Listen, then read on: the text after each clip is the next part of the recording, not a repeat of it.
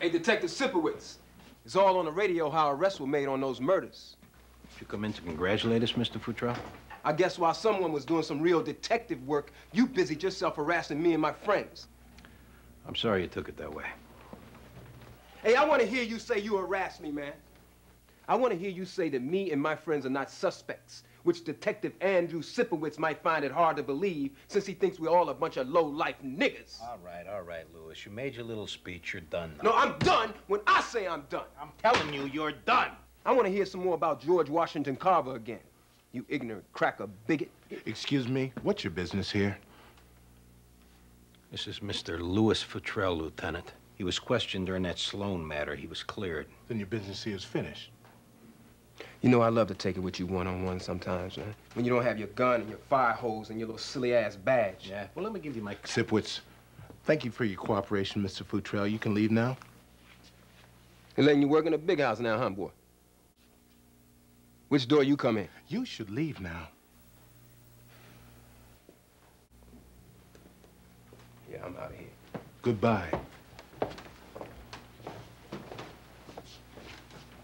You busy tonight? I got no big plans. Detective Sipowicz, uh, I, I got your message. You said you'd found it. You, you, you did, didn't you? Uh, yeah, come on in. Oh, thank you.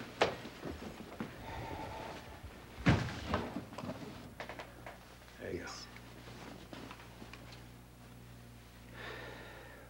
Yes, I'm very grateful, thank you. go. We got that kid in the holding pen. How do you want to handle that? Oh, well, I'm, I'm not inclined to press charges. Uh, no harm done, as we say. Yeah, all right, how suit yourself. Detective, could you abide a gesture of gratitude from an old queen? That depends on the gesture. Here's the book of mine you said you had enjoyed. I, I signed it for you.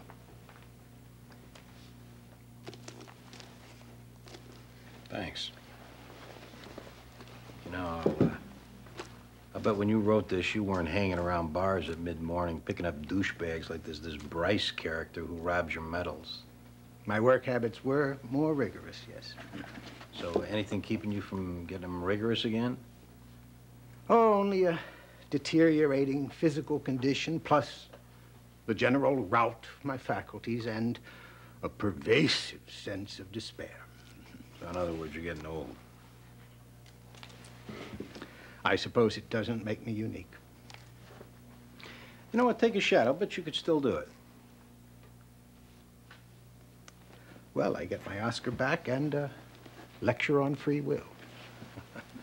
Just shows you what kind of a police department we got here, huh? Thanks for the book. No. Thank you, Detective.